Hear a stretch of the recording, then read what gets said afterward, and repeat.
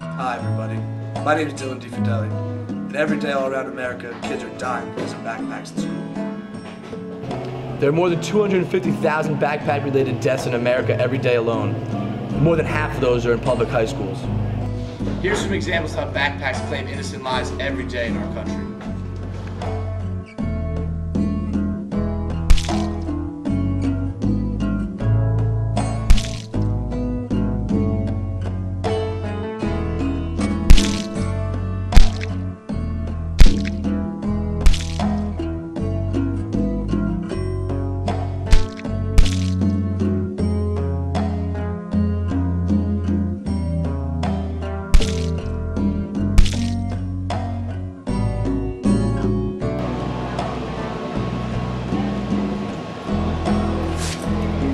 Every day, students, parents, and teachers are doing their best to fight against the dangers of backpacks.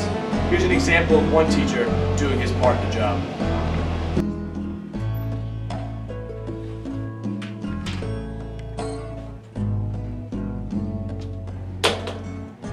Is that a book bag? In school? Carp, it's okay, he didn't know. No! He needs to know!